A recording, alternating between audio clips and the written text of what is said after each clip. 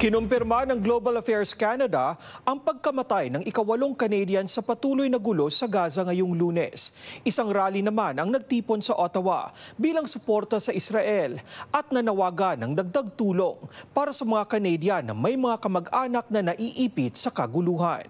May report si Teresa Redula. Hindi pa man sumisikat ang araw ngayong lunes. Nagtipon ang libo-libong Jewish community members at sabay-sabay na pumunta sa Ottawa para sa tinatawag na Canada's Rally for the Jewish People. We're here to go up to Ottawa to uh, tell the Canadian government to support Israel. We're alarmed. This is not ordinary times.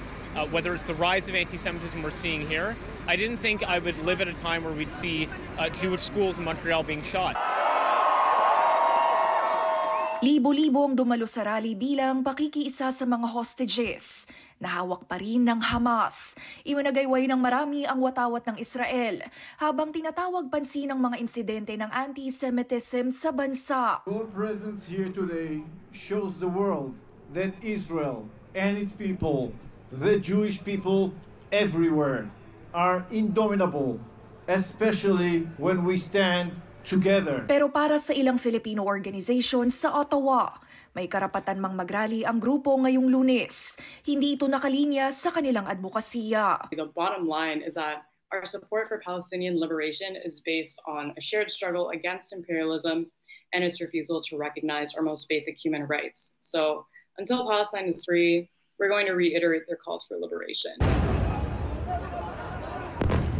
Walang tigil ang mga airstrike ng Israel sa hilaga at timog na bahagi ng Gaza Strip ngayong lunes, kung saan anila nagtatago ang mga lider ng Hamas na mas pinahirap ang paglikas at pagpapasok ng tulong, ayon sa Global Affairs Canada. Hindi kabilang ang sinumang Canadian sa mga nakalikas nitong lunes. Kinumpirma din nilang isang daan na tatlumpung Canadians, permanent residents at kanilang pamilya ang nakalikas nitong weekend. Nananawagan naman ng NDP sa Ottawa na mas palakisin pa ang pwedeng matulungan ng gobyerno. Canada can bring in a special immigration measure immediately to allow for Canadians and people here in Canada with loved ones to reunite. Tanging asawa at mga anak edad 21 pababa ang pwedeng makapunta sa Canada.